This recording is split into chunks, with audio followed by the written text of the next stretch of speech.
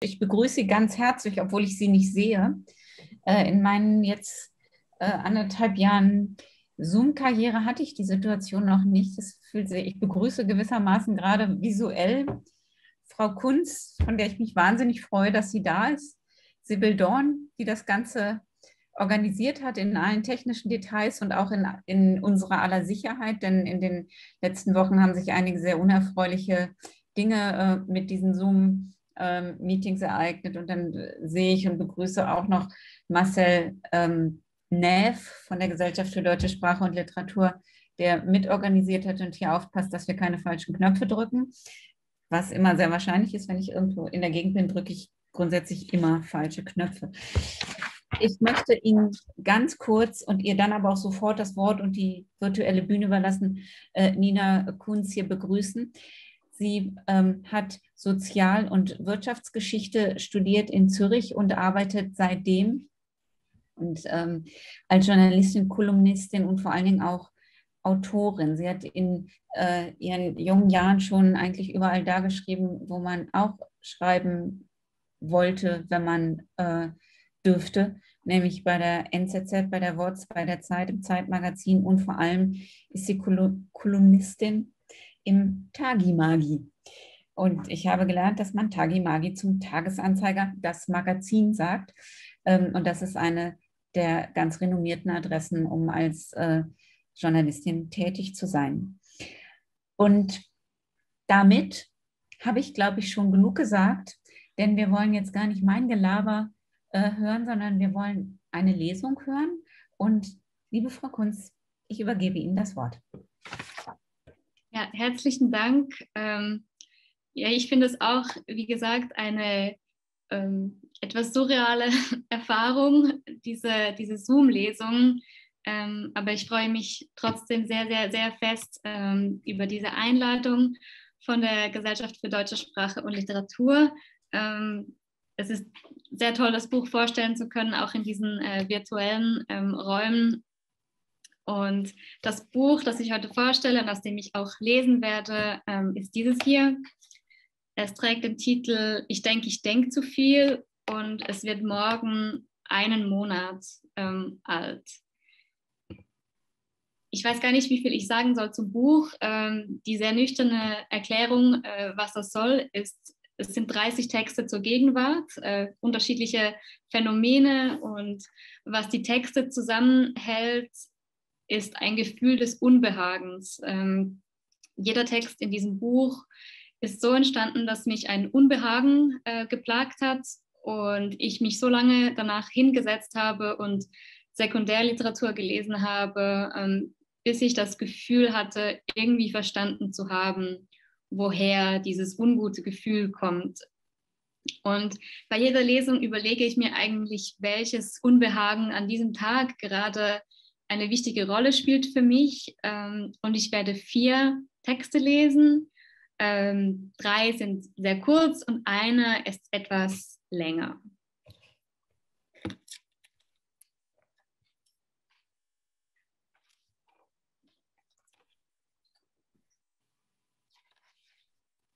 Normalität.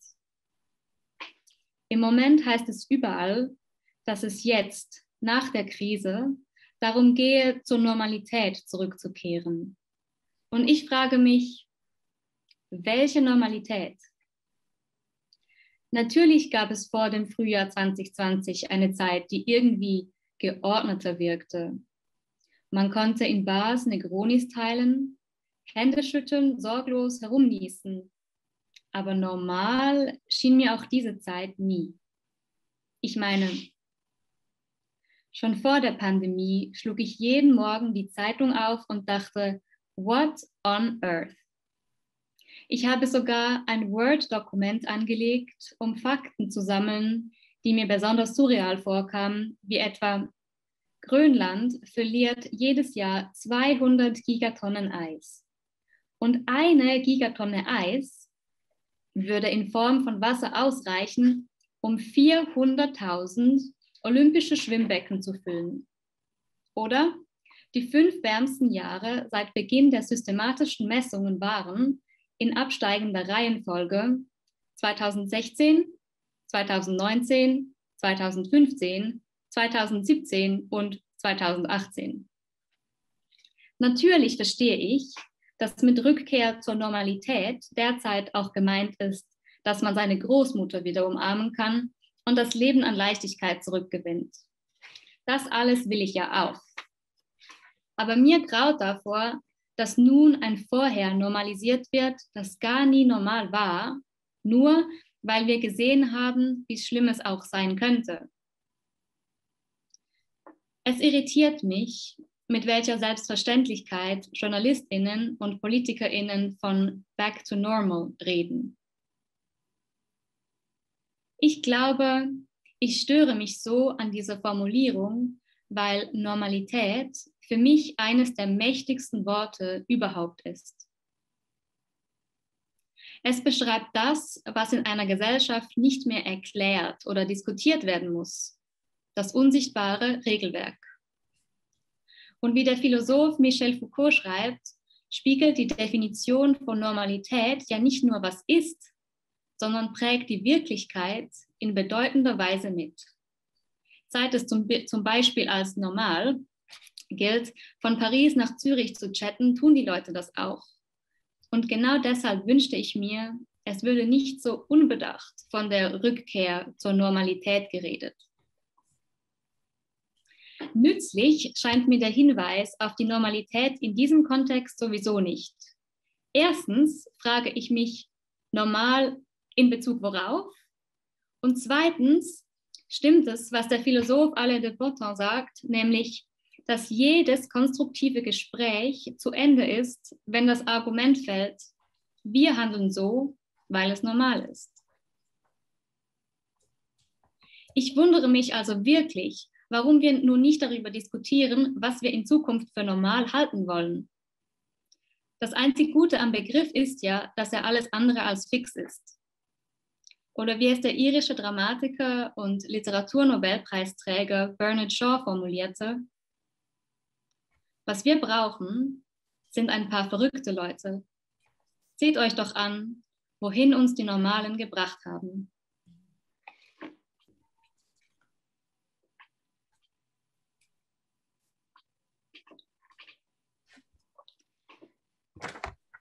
Ähm, der, die, das, die Kolumne zur Normalität ist übrigens die Lieblingskolumne meiner Großmutter.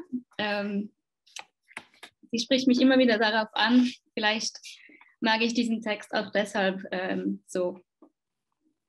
Der zweite Text ähm, hat auch mit Corona zu tun und auch mit einem Wort. Also häufig, wenn ich schreibe, sind Wörter, Begriffe ähm, der Ausgangspunkt. Äh, ich liebe es, wenn ich ein Gefühl, ein diffuses Gefühl habe und dann merke ich, es gibt ein Wort dafür. Das ist ähm, eines der größten äh, Glücksquellen, glaube ich, in meiner Arbeit. Ähm, deshalb ist das auch beim nächsten Text so und der trägt den Titel Weltschmerz. Und er fängt etwas depressiv an, aber wird dann besser. Manchmal verzweifle ich an der Welt. An den EU-Außengrenzen wird auf Menschen geschossen. Es gibt Hass, Corona, TikTok-süchtige Teenager, schmelzende Polkappen und die seelenlose Musik von UFO 361. An manchen Tagen möchte ich am liebsten im Bett bleiben und heulen. Oder ganz viel Gin trinken und bitter werden wie Angostura. In letzter Zeit ist mir irgendwie die Hoffnung abhanden gekommen, dass es schon gut kommt mit der Welt.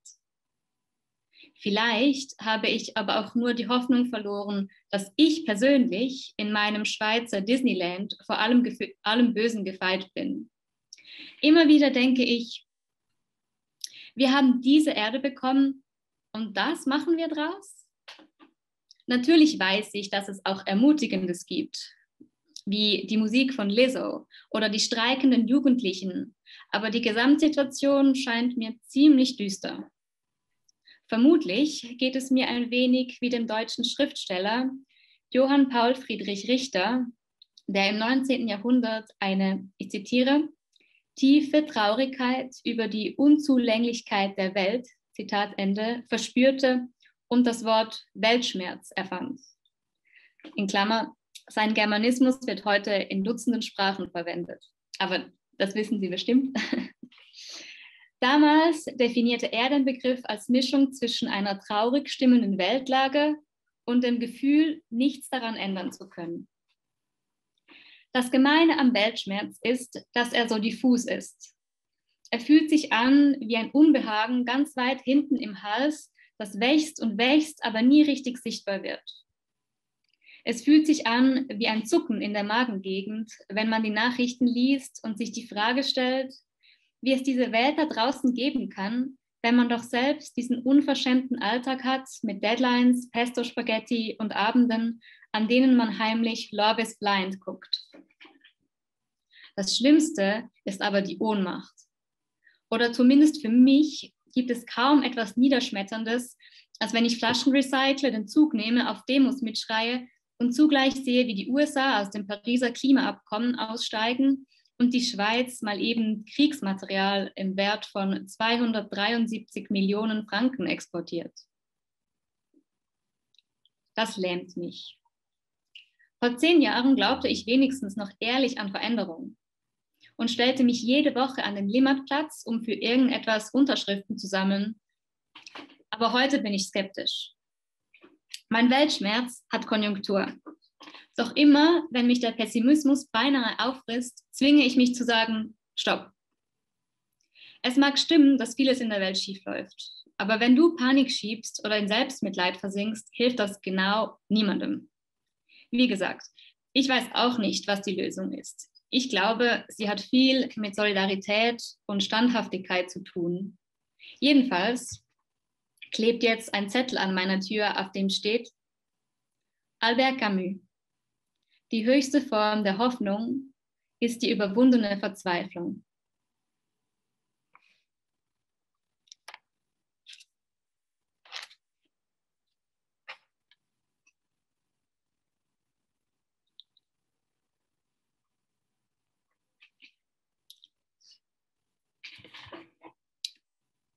Ähm, ich dachte, es gibt wenig Gelegenheiten, an dem ich diesen Essay, den ich geschrieben habe über mein Leben als Studentin an der Universität Zürich, äh, mehr Sinn ergeben würde, ähm, weil ich denke, auch dieser, dieser Essay ist ein bisschen obskur für viele, die nicht wissen, was die Dr. Faustgasse ist. Ähm, aber ich möchte ihn dennoch äh, vortragen, weil es vielleicht auch Themen sind, die Sie äh, am DS ähm, beschäftigen. Ich lese den zweiten Teil ähm, dieses Essays vor, ähm, das den schönen Titel trägt äh, Summa cum Gaudi. Ähm, und das Thema, ähm, einfach kurz, um, um zu skizzieren, wo wir uns befinden, ist ähm, mein Leben ähm, an der Uni, das irgendwie so hin und her schwankte zwischen ich möchte, dass es eine Zeit wird der Muße, ähm, des kontemplativen Denkens, ähm, und gleichzeitig war da Bologna und diese Quantifizierung von, von Wissen, äh, von, von Punkten und dieses ambivalente Gefühl, das das verursacht hat bei mir. Und ich steige gleich ein ähm, beim Denken. Das Schönste an der Universität war das Denken. Verschiedene sich widersprechende Gedanken gleichzeitig zu jonglieren diese Art des Denkens, wenn eine einfache Frage, etwa was ist eine Nation, plötzlich so kompliziert wird, dass sie dein Hirn sprengt. Die Uni lehrt dich, wenn es schwierig wird, macht es Spaß. Und am meisten Spaß macht es, wenn du diese komplizierten Gedanken mit Menschen teilen kannst, die ähnlich denken wie du oder wenigstens die gleichen Bands mögen. Das Denken hat etwas Poetisches, weil es ein wenig ist, wie wenn man vor einem Kunstwerk steht und ständig neue Details entdeckt. Müsste ich wählen, würde ich alles andere eher hergeben als dieses Denken. Ich habe Geschichte studiert. Wenn ich mir anschaue, was die Geschichtswissenschaft für eine Entwicklung durchgemacht hat, werde ich optimistisch. Am Anfang waren da Historiker wie Leopold von Ranke, die sich ausschließlich für große Herrscher interessierten. Dann kamen Marxisten wie Eric Hobsbawm, die fanden, hey, was ist mit den ArbeiterInnen? Die müssen in der Geschichtsschreibung auch vorkommen. Und dann die FeministInnen, die bemängelten, dass die Frauen vernachlässigt wurden. Kurz, die Geschichtswissenschaft ist inklusiver geworden. Das gefällt mir. Genauso wie die theoretischen Spinnereien hinter dem Fach, etwa der Dekonstruktivismus. Als mir in einem Seminar zum ersten Mal vorgemacht wurde, wie man ein Konzept hinterfragt und eben dekonstruiert, war ich baff. Da tat sich eine Welt auf, es wurde bunt. Eine Nation ist nicht einfach eine Nation quasi von Natur aus. Da braucht es einen Zeitgeist, eine Geschichte, einen Mythos und Interessen. Das Symbolische und das Faktische durchdringen, durchdringen sich komplex. Wow. Die Partys waren auch wichtig. Eine Zeit lang gab es eine Studieparty im Plaza, jeweils donnerstags, weil wer geht am Freitag schon in die Vorlesung? Da ging man manchmal hin, aber nur ironisch und als Gruppe und klaute Wodka von hinter dem Tresen, wenn der Barkeeper nicht guckte. Gut war auch der ASVZ, der Unisport. Da konnte man zu Jennifer Lopez Remixes Spots machen und der Trainer sagte Sachen wie Summer bodies are made in winter und meinte das tatsächlich so. Oder wenn du wirklich nicht mehr kannst, dann noch zwei. Es war die Antithese zum Dekonstruieren im Seminar. Im ASVZ waren Dinge wie Poststrukturalismus egal und das war gut so. Aber es war nicht alles rosig. Das Studium hat mich auch mächtig gestresst. Bologna ist super für Leute, denen man in den Hintern treten muss, damit sie eine Arbeit schreiben. Aber Bologna ist der Horror für Leute, die das eh schon können, sich strukturieren. Und dann, ob dieses Reward-Mechanismus durchdrehen, weil sie Streber sind und von guten Noten high werden. Vor meinem Bachelor hatte ich etwa solche Angst, eine Prüfung nicht zu bestehen, dass ich jeden Tag, Tag dafür lernte, drei Monate lang und aufhörte zu essen. Und als der Test vorüber war, ich habe mit Bestnote bestanden, stand ich, und es war Altenglisch, stand ich eines Tages in der Dusche und meine Haare fielen büschelweise aus, weil ich mangelernährt war. Apropos Horror. In einer Politikvorlesung hatte ich mal ein Semester lang einen Abercrombie und Fitch-Typen in der Reihe vor mir, der immer nur Basketball geschaut hat auf dem iPad. Im Nachhinein dachte ich, der Typ war symbolisch für den abgelöschten Bologna-Vibe. Die Uni soll einen unterhalten wie Netflix und wenn die ECTS-Punkte mal eingesagt sind, kann man den Stoff wieder vergessen. Ich habe mich immer geärgert über solche Typen. Warum bist du hier, wenn du keine Lust auf Wissen hast? Wo ist dein Feuer? Du bist genauso öd wie diese Mädchen in der Schule, die immer gefragt haben, ob etwas prüfungsrelevant ist. Den unwirklichen Bologna-Vibe habe ich aber nur selten in Reinform abbekommen. Eigentlich nur, wenn ich in der Politik mit 600 anderen Menschen eine Prüfung schrieb und dachte, wow, ich bin nur ein kleines Sandkorn, das ein paar Bullet Points auswendig gelernt hat. Die Geisteswissenschaften waren ja eher eine der letzten widerständigen Bastionen. Und selbst wenn die Profs Bologna-Fans wären, man wüsste schlicht nicht, wie das gehen soll. Die Geschichte effizienter zu machen wäre etwa so, wie wenn man die Seniorenpflege effizienter gestalten wollte. Man könnte es vielleicht tun, aber das Wesentliche bliebe auf der Strecke. Darum fristen die Geisteswissenschaften sowas wie ein Parallel, eine Parallelexistenz zu Leistungsfächern wie Jus und Bio. Wir machen weiter wie bisher und hoffen, niemand merkt es. Auch politisch war tote Hose. Eine kritische Auseinandersetzung mit der Institution war ein Minderheitenphänomen. Die Identifikation mit der Bildungsstätte war wohl schwach. Man ging da halt hin, um sein Diplom zu kriegen. Exemplarisch konnte man das beim VSU-ZH-Rat, dem Studierendenparlament, sehen. Die Forderungen gingen da mehr in Richtung Mikrowellen für alle als Revolution jetzt. Die studentische Unipolitik war brav und bürokratisch.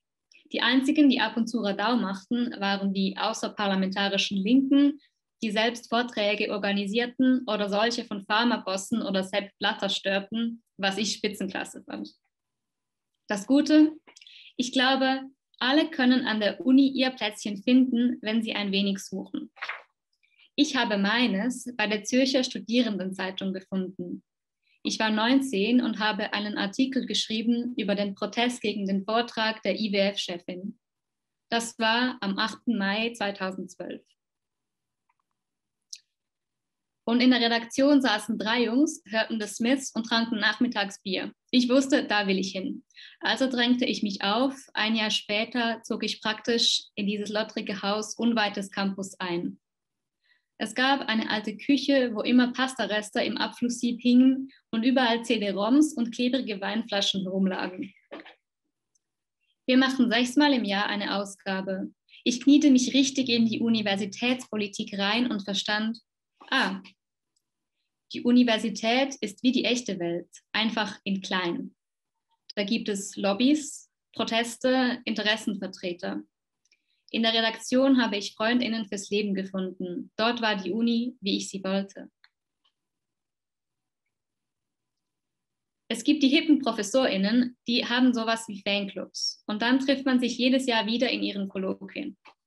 Diese Profs haben Spitznamen, eine Aura, man kennt sie wenn man mit dem Studium anfängt. Das sind auch die Profs, die in den Medien vorkommen und etwas verwirrt sind. Und wenn sie reden, beginnen sie irgendwo und du denkst, hä? Was hat das mit dem Thema zu tun? Aber dann schleifen sie den Gedanken ein und alles, was sie bis, bisher gesagt haben, spannt sich zu einem logischen Ganzen zusammen und du hockst da und staunst angesichts der Genialität dieses Menschen und wirst ein bisschen traurig, weil du nie so klug sein wirst. Doch dann erinnerst du dich, dass sie sehr viele Stunden in der Bibliothek verbracht haben und du dafür am See und alles ist okay. Was ich nicht gecheckt hatte, war, wie sehr mir die Universität eine Struktur gab. Du hast jeden Dienstag eine Vorlesung, aber hingehen musst du nur, wenn du A, nicht verkatert bist, B, Lust hast und C, es nicht regnet. Es ist perfekt. Dein Leben hat einen Sinn. Du sammelst diese Punkte und strebst einem Diplom entgegen. Danach gibt es niemanden mehr, der dich bewertet und du fragst dich, ja, wie zur Hölle weiß ich jetzt, ob ich auf dem richtigen Weg bin? Manchmal wünschte ich mir, mein Leben wäre wieder verschulter. Das Studium ist die perfekte Mischung zwischen sozialem, inhaltlichem und Selbstverwirklichung.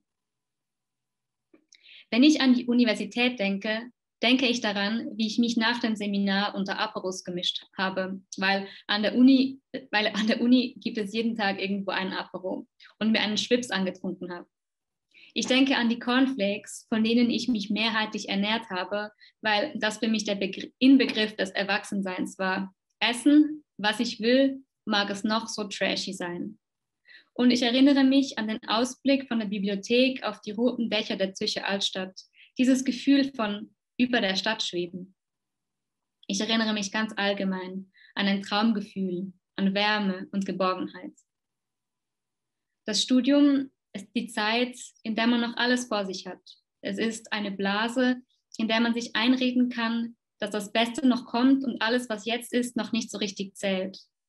Es ist eine Testphase, in der man die grauenhafte Pubertät hinter sich hat, sich aber noch ein wenig vor dem Ernst des Lebens drücken kann.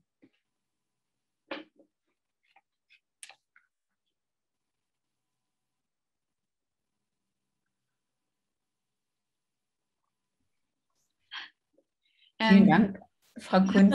Ich habe noch einen. einen okay. Ist das gut oder ist es super? Es ist perfekt. Ich ähm, okay. war so im Zuhören, dass ich dachte, wie ich soll jetzt schon was sagen. Perfekt, weiter geht's. es gibt noch einen Text.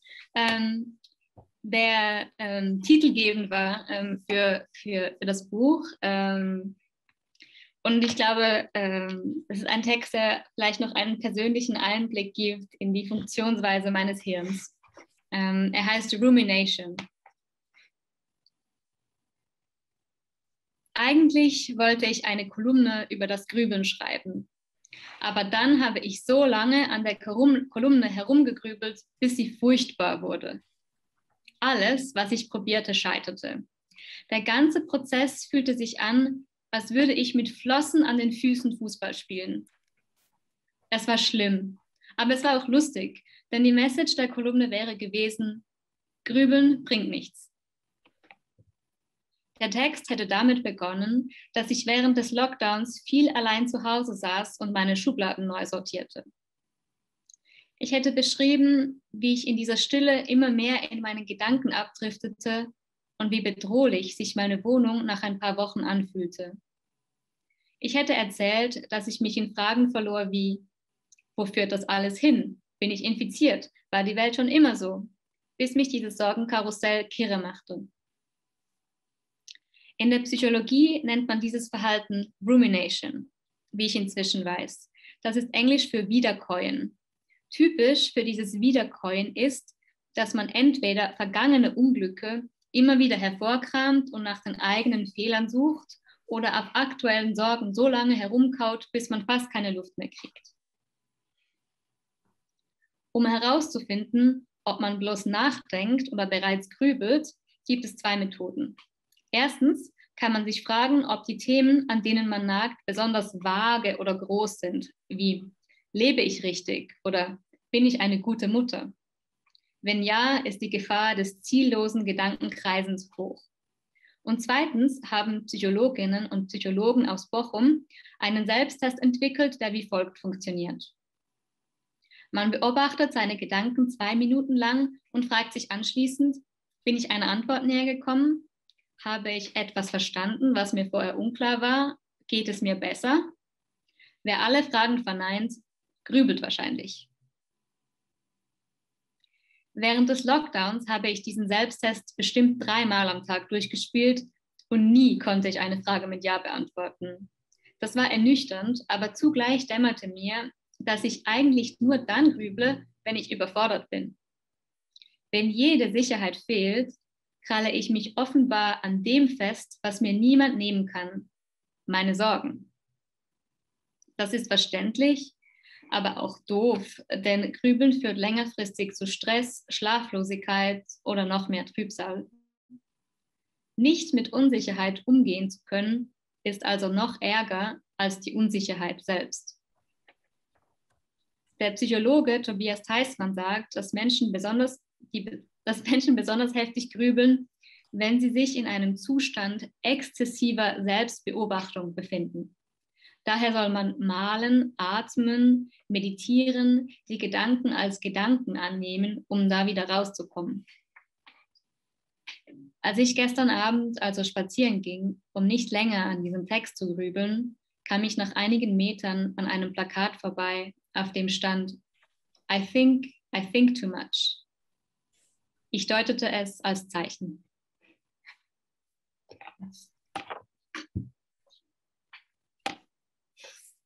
Vielen Dank für diese wunderbare Lesung. Und dieser Titel ist einfach, der kann so ein, ich glaube, für viele, die ähm, in der Seniorentruppe der Geisteswissenschaften unterwegs sind, so eine Art Tagesmotto sein. Ich denke, ich denke zu viel. Ähm, Frau Kunz zeigt uns in ihren Geschichten, dass Angst viele Gesichter hat, aber sie macht das nicht als Psychologin oder Psychotherapeutin, und auch gar nicht mit dem Anspruch, sondern sie nimmt das Unbehagen und übersetzt es in Schrift, in Text, in Gedanken, in Dichte, Gewebe, in Witz, über Normalität, über Weltschmerz, Summa cum gaudi, Rumination und eröffnet uns intensive, wortgewandte äh, und berührende Kurzprosa. Und ich habe äh, eigentlich äh, tatsächlich, als äh, sie gerade über ähm, die Uni las, gedacht, ah, okay, jetzt machen wir hier das Bologna-Ding und ähm, unterhalten uns, wie Uni ist, wie Uni war und ähm, wie Idealisierung funktioniert und wie Erinnerung ähm, funktioniert. Aber ich habe eigentlich ähm, tatsächlich durch äh, noch zwei andere Fragen, über die ich zuerst sprechen möchte. Und zwar ist meine erste Frage, geht tatsächlich um etwas, ähm, worüber ich beim Lesen gestolpert bin, nämlich um die Frage des Störens und welche Rolle das Stören bei der Angst spielt. Ähm, auf Seite 96 lese ich in dem äh, Text drei Tage offline. Mhm. Ähm, wer wirklich etwas ändern wolle, müsse inmitten der digitalisierten Welt bleiben und stören, wie einst Diogenes von Sinope im antiken Athen. Frau Kunz, sind Sie ein Störenfried?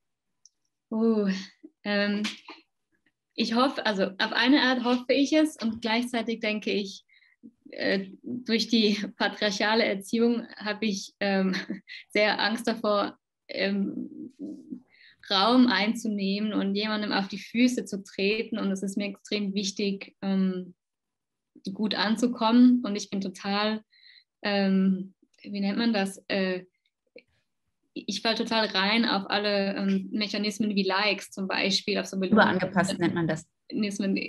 Äh, genau, ähm, ja. aber die, also die Stelle, die Sie ansprechen, das muss man vielleicht ähm, kurz erklären. Ähm, da geht es ähm, um ein ganz, ganz tolles Buch äh, von Jenny Odell und sie macht sich quasi Gedanken, wie geht Veränderung in einer Gesellschaft und was können Individuen tun.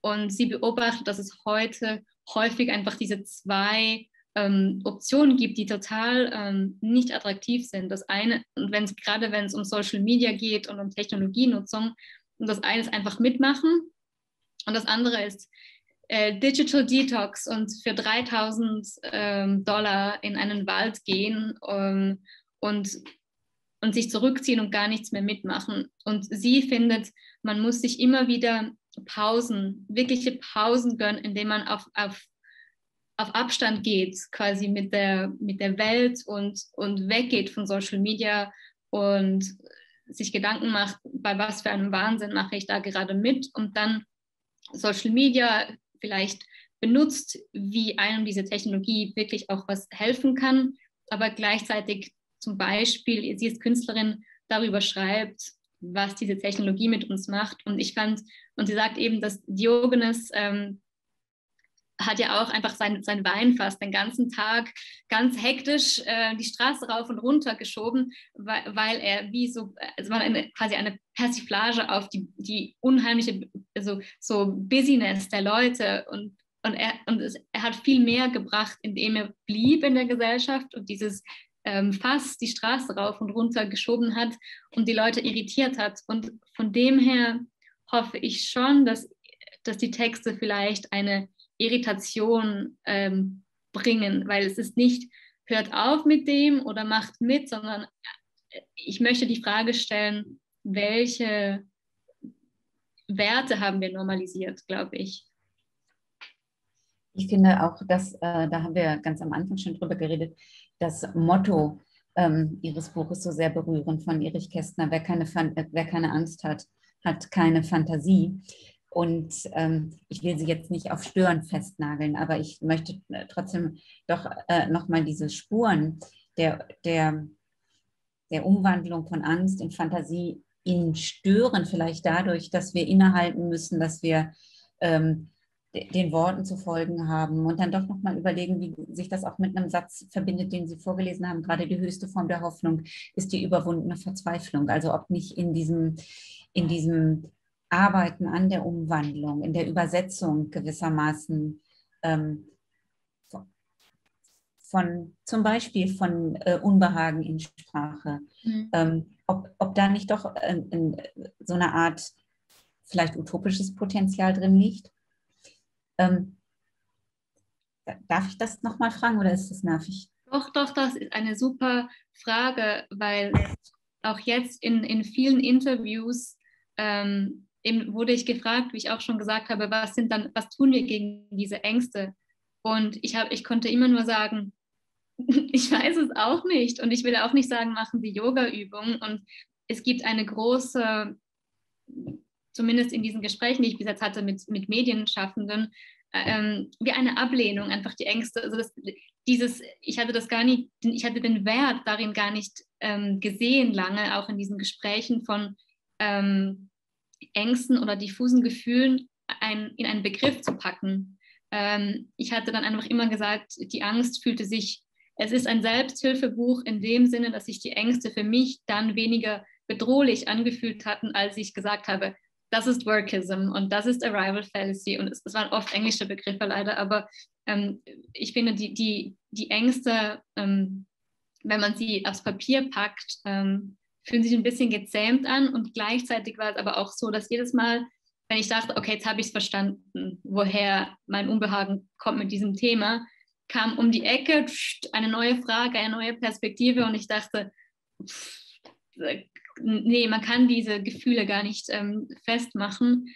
Aber ich hoffe durchaus, also ich glaube, meine, Entschuldigung, sieben Ecken. Meine Erkenntnis war, ähm, dass nicht ich ein Loser bin, weil ich diese Ängste habe, sondern weil ganz viele gesellschaftliche Strukturen so ausgerichtet sind, dass sie diese Grundängstlichkeit, die ich habe, einfach so triggern ähm, extrem. Und ich glaube, das Buch ist eben, wie gesagt, ein, ich habe das mal versucht irgendwie formulieren und ich hoffe, dass man jetzt über diese strukturellen Dinge sprechen kann. Aber so wie die ähm, Medienaufmerksamkeit auch funktioniert, das will niemand wissen. Die Leute wollen wissen, wie ich eine Lösung gefunden habe, was ich gelernt habe, wie ich damit umgehe, was meine Hoffnungen sind. Und es ist total schwer ähm, zu sagen, ähm, was die Einladung dieses Buches eigentlich ist. Genau, ich glaube, ähm, wenn ich das, also ich, ich glaube, ich muss erst noch, ich antworte da gleich nochmal drauf mit der Einladung. Ähm, wollte aber noch eine wirklich, glaube ich, für uns alle wichtige Frage stellen. Sie kommen ja ursprünglich aus der Wissenschaft. Sie haben äh, ein, ein, Dissertationsprojekt im Bereich Gender Studies ähm, ge geplant zur Wissensgeschichte der Frauengesundheitsbewegung ähm, und haben sich für, eine and für ein anderes Medium des Ausdrucks entschieden. Und ich habe so ein wunderbares so einen wunderbaren Satz gelesen heute im Interview, äh, was Sie gegeben haben. Da heißt es, erst beim Wechsel in die Gender Studies im Rahmen meines Doktorats wurde mir bewusst, dass Objektivität auch ein patriarchales Konstrukt ist. Den Anspruch, neutral auf die Welt zu schauen, können nur weiße Männer erheben. Also habe ich es gewagt, persönlicher zu werden. Und damit schlage ich den Bogen zurück. Sie sprechen ja gar nicht so viel von der Angst. Sie haben uns auch eingeführt in Ihre Gedanken mit dem Unbehagen. Ne? Und ob nicht ähm, das eine heroische Geste eigentlich ist, ähm, eine Form der Sprache zu finden, die aushält, die Unbehagen aushält, die äh, Irritation aushält und erzeugt. Ähm, und vielleicht ähm, würden Sie da noch mal was zu sagen, also sozusagen Talking Back äh, gegen, gegen sozusagen patriarchale Strukturen, alte weiße Männer. Auch alte weiße Frauen können übrigens alte weiße Männer sein. Ja. Ähm, ich glaube ganz spezifisch, das mit dem persönlichen Schreiben war auch das, ich habe ja, ich war vor dem Tagi Magi bei der NZZ und das war super. Ich habe so viel gelernt im Lokaljournalismus, aber ich hatte irgendwann auch ein Unbehagen damit, in allen Themen eine vermeintliche Expertin sein zu müssen, sei es Steuerpolitik, sei, sei es Demonstration, sei es irgendwas. Ich habe, ich weiß nicht, ich habe pro Tag drei Artikel geschrieben äh, irgendwie und und ich habe wie, ich habe, mir war das total, ähm, ich hatte wie das Gefühl, ich fake was und ich kann ja auch gar nichts zu all diesen Sachen was wissen und man ist ja auch einfach die NZZ und darum hat es so diese Objektivität und, und gleichzeitig habe ich eben in Bern bei Patricia Purchert in den Gender Studies angefangen und wir haben diesen Donna Haraway Aufsatz gelesen, ähm, ähm, ich glaube, er heißt God's Trick, ähm, wo sie über die Objektivität schreibt. Das ist quasi diese Vorstellung, dass man quasi als Gott, als Gottheit auf die Welt schauen kann und sie aus einer neutralen Perspektive beschreiben, das, was wir gängig als Objektivität ähm, bezeichnen, dass sich das nur ähm, alte weiße Männer, ist so ein polemischer Begriff, aber Sie wissen, was ich meine, äh, ja. leisten können. Ähm, und, das, und dann, dann war ich so, ah, das ist das, was ich, das, das war mein Unbehagen bei der NZZ. Ähm, und, und, und ihr, also ihre Lösung ist einfach absolut genial, dass alle sagen und offenlegen, auf welchem spezifischen Punkt sie sich befinden und ähm, gar nicht versuchen, quasi zu sagen, ich schwebe über der Erde und dass sich aber dann die Leute, für, für, bei ihr ist ja immer Pflanzen- oder Hundemetaphern und ähm, dass sich das ein, ein Gewebe dann, eine Vernetzung von ganz verschiedenen Partikularperspektiven. Und ich fand das einfach so das Flashigste, was ich je gehört habe. Und das hat mir dann den den Mut gegeben, irgendwie diese Partikularperspektive ähm, zu ergründen und auch offen zu legen, was ich nicht weiß. Und ich fand das so eine Erleichterung, nicht Expertin sein zu müssen. Ähm, und gleichzeitig, aber jetzt merke ich auch bei, bei der Vermarktung des Buches, ich habe so, ich bin so stark darauf irgendwie fokussiert, dass ich eben, dass ich alles ist aus meiner Perspektive als ähm, reiche weiße Zürcherin auch und das ist ein sehr spezifischer, extrem privilegierter Blick. Und manchmal fällt es mir dann schwer, wenn ich Erkenntnisse habe, die dann auch zu sagen, weil ich denke, hm, ist doch eh nichts wert. Und jetzt kommen so viele ähm, Nachrichten von anderen jungen Frauen, aber auch, also es geht durch alle Generationen, alle Geschlechter durch, von Leuten, die sagen, du hast ein Buch geschrieben über mich und, und ich weiß wie nicht mit dem, wie man jetzt aber auch wieder aus dieser Partikularperspektive irgendwie auch rauskommt und vielleicht sagt, irgendwas da scheint größer zu sein. Und dann sage ich immer, ich glaube, es ist nicht eine Generation, es ist vielleicht ein spezifisches soziales Milieu, aber da habe ich selbst noch offene Fragen, wie quasi, ja, ich, also ich fand es sehr entlastend, über mich zu schreiben, aber offensichtlich ist da was drin, was nicht nur mich betrifft, aber ich, es ist mir total unangenehm, darüber zu reden, weil ich denke, ja. ich will mir nichts anmaßen. Ja. Donna, Donna Haraway hat ja die, dieses interessante ja auch Metapher von Cyborg. Also eigentlich sind sie ein heimlicher Cyborg und diese ähm, grenzüberschreitend, vernetzend. Ähm, was mir aufgefallen ist, ist auch die große, ähm, die große Rolle des Englischen in, in ihrem Schreiben. Mhm. Also man, man merkt, dass sie, so, dass sie so wie Hybrid denken und ich glaube, diese, diese Idee, äh, das ist, finde ich, auch eine, eine, interessante Idee. Die, die Idee der Bescheidenheit, das ist ja in der Mädchenerziehung ein ganz wichtiges Ding. Ne? Also man darf, die kleinen Jungs werden für, gewissermaßen für jeden Dreck gelobt und bei den Mädchen heißt es, mm, ne, drängel dich nicht im Vordergrund, sei nicht so laut und sei überhaupt bescheiden. Und ich und so, darf ich über mich schreiben? Ist es nicht anmaßend? Ist es anmaßend, äh, zum Beispiel ein Problem zu adressieren? Ist es anmaßend zu sagen, dieses und jenes. Was ist größer als das Ich? Das ist natürlich die Sprache, die sie anbieten. Ne? Äh, das ist die Sprache, ähm, in der sie sich ausdrücken, die dann aber als Ausdruck da ist und so viele Leute, äh, so viele Leute anspricht. Und dann die Sprache, die ähm, in dieser kunstvollen Art und Weise vor allen Dingen mit den Anglizismen umgeht. Das ist mir sehr stark aufgefallen. Was ist das Englische für Sie? Das Englische ist meine Heimat sprachlich. Also mein Vater ist Engländer, aber wie ah. man im Buch merkt, ich habe ihn nie kennengelernt. Das schreibe ich ja, auch ja. darüber. Aber meine Mutter ist Dolmetscherin, ah. Englisch-Deutsch. Und sie hat mit mir viel Englisch gesprochen und immer wenn es äh, emotional wurde in Gesprächen, haben wir auf Englisch gewechselt. Das Aha. ist immer noch so bis heute.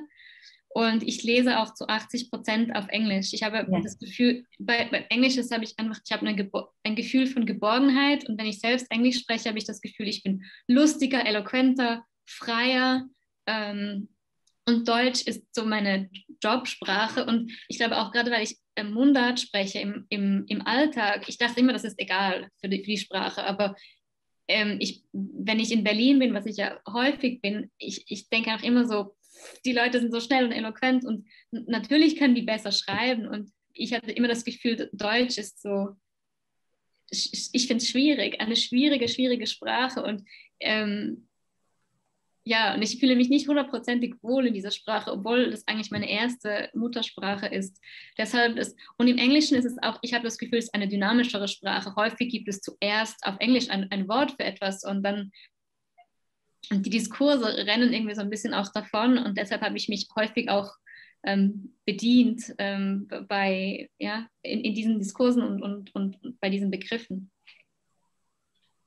Sibyl, du verbietest mir jetzt das Wort, richtig? Nein, nein, ich wollte nur gerade eine Frage einschieben, die aus dem Publikum kommt und die gut passt. Ah. Darf ich? Ja, klar. Da schreibt einer unserer Gäste, schreibt, wie in Klammer lange arbeiten, überarbeiten Sie bis ihre dichten Texte den lockeren Ton haben? Oder kommt er so locker, wie er klingt? Nein, nein, nein, nein, wirklich. Also es ist, also ich dachte wirklich sehr lange, ich, ich könne irgendwie schreiben und es hat sich auch durch mein Leben durchgezogen und diese ähm, an diesen Kolumnen arbeite ich, die sind 3000 Zeichen, das ist eine E-Mail quasi. Und ich arbeite eine Woche daran, ähm, Stunden über Stunden und ich verzweifle und ich verfluche mich, dass ich 3000 Zeichen das Konzept von Normalität abhandeln will. Ich, es ist, ich, ich, also ich, hab, ich teile mein ähm, ähm, Atelier, wo ich jetzt auch drin bin, mit einer Lyrikerin und Schriftstellerin, ähm, Simon Lappert Und wenn sie Lyrik schreibt und die Verdichtung, ähm, wir reden häufig darüber, dass das ein ähnlicher ähm, Prozess ist. Und ich habe auch das Gefühl, die Kolumnen, ich, ich sehe die auch als, als Gedichte und manchmal, es ist so wenig Platz, also wenn ich, mir fällt es einfacher, 20.000 Zeichen Essays zu schreiben als 3.000 Zeichen Kolumnen. Und manchmal denke ich sieben Stunden darüber nach, wie man zehn Sätze in einem Halbsatz verpacken könnte und welches Beispiel genau das ist, damit alle checken. Und dann ist ja auch noch das Publikum beim Tagimari sehr, sehr breit. Ähm, also ist wirklich, ich, ich, ich, ich erzähle immer meiner Oma, am Tele diese Woche schreibe ich über den Begriff des Erhabenen. Oh Gott. Ja. Und ich habe ihr, ja, und ich bin auch so, warum mache ich das? Und, und es dauert einfach, es dauert ewig und ich habe wirklich einfach nur Schreibkrise um Schreibkrise um Schreibkrise und deshalb ist es ähm, wirklich sehr schön, dass es dieses Buch gibt und sie wenigstens so, man denkt, es hat sich für irgendwas gelohnt. Wir haben, glaube ich, noch eine Frage im Chat, oder Sibyl? Du bist gemutet. Entschuldigung, nee, die anderen habe ich schon beantwortet. Da ging es um darum, ob die Uni ein Alkoholproblem hat. Habe ich geantwortet, im Moment ja. nicht. So in dem Stil. Ähm, Auf alle Fälle. Ja. Das kann ich bestätigen. Das ist, glaube ich, was eine Frage, oder? Nee, das ist, ähm, ja gut. Hat nicht die Gesellschaft ein Alkoholproblem. Aber ähm, was mir aufgefallen ist beim, bei der Verdichtungsarbeit, ist der Wechsel ähm, der Affektlage. Und ähm, es kommen die abstrakter und oft ähm, fängt sie auch mit so, einem abstrakten Begriff an. Dann, dann kommen die, die, die rationaleren Passagen, dann gibt es die Affektinseln. So empfinde ich das immer. Und ähm, ich glaube, dass, mich würde interessieren, ähm, ob das ein komischer Leseeindruck von mir ist. Für mich sind die Affektinseln auch mit dem Englischen etwas stärker verbunden. Äh, da arbeiten Sie hart dran, richtig? Also mit Affekt meinen Sie Gefühlslagen beschreiben? Genau. Also aus dem alltäglichen Exakt, da, da, wo man das Gefühl, da wo es einen berührt, ne, wo man denkt, oh, das geht jetzt einem unter die Haut irgendwie. Das ist lustig, weil intuitiv würde man ja denken, die Theorie ist, die hat man am längsten für die Verdichtung. Ja. Aber nein, sie haben, das habe ich mir tatsächlich noch nie so überlegt. Aber auch bei der letzten Kolumne, die jetzt übermorgen erscheint, geht es darum, wie wohl Berührungen werden nach der Pandemie. Ja. Und auch da habe ich so einen ähm, ein, ein Treffen mit einer ähm, Bekannten auf der Straße beschrieben und wo ich das Gefühl habe, ich habe verlernt, wie Smalltalk geht. Und ich hatte auch ewig, um diese Geschichte in drei Sätzen ähm, zu, zu erzählen. Aber ich glaube, die, die, die meiste Arbeit geht darin, was für eine Geschichte möchte ich erzählen. Ähm, häufig beginne ich, was ist die Geschichte? Die Geschichte kann sein, ich erlebe dieses Gefühl. Die Geschichte kann sein, ich habe ein Buch entdeckt, das interessant ist. Es kann sein, ähm, ich habe ein Wort gelernt oder es kann sein, in meinem Leben war es immer schon so das. Und bis ich herausgefunden habe, welche kleine Geschichte ich erzählen möchte und welche kleine Geschichte ähm, irgendwie Sinn ergibt, um diesen, diese Message rüberzubringen, das, das ist das, woran ich verzweifle häufig. Und ich kann auch 10.000 Stunden wenn die, wenn die Form nicht stimmt, dann kommt irgendwie auch, das war bei der vorletzten Kolumne, einfach die Form, hab, ich habe die falsche Form gewählt und den falschen Fokus und dann kam auch der Text und die Sprache, die, die ziehen dann nicht nach. Aber wenn die Form stimmt, dann weiß ich und kann auch darauf vertrauen, dass mit gewissen Arbeitsstunden die Sprache und die Wörter irgendwann in die richtige Form purzeln. Mhm. Frau Kunz, ich glaube, Sie haben uns einen wirklich tiefen Einblick in äh, die Umwandlung von Unbehagen in Kunst gegeben. Und bei allen Ihren Ausführungen fällt mir tatsächlich dieser Spruch ein von Karl Valentin, Kunst ist schön, macht aber auch viel Arbeit. Ja. Und ich bin äh, ganz dankbar, dass Sie der Gesellschaft für deutsche Sprache und Literatur äh, das so anschaulich darbringen konnten und dass Sie ähm, Ihre wunderbaren Texte uns vorgelesen haben. Und ich empfehle einfach nochmal allen hier das Buch von Nina Kunz, Ich denke, ich denke zu viel, im Verlag Kein und Aber, gerade frisch aus der Presse. Sie haben bestimmt alle in diesem Jahr Geburtstag. Weihnachten steht quasi vor der Tür. Ähm, also ab und das Buch kaufen. Und ich ähm, bedanke mich ganz herzlich, dass Sie bei uns waren und wünsche Ihnen total viel Erfolg, dass der Karriereweg so straight weitergeht. Zeigt sich dann immer von hinterher, aber dass man zwischendurch auf alle Fälle weiß, dass die Geschichte von hinterher eine gute wird. Vielen ja. Dank, Frau Kunz.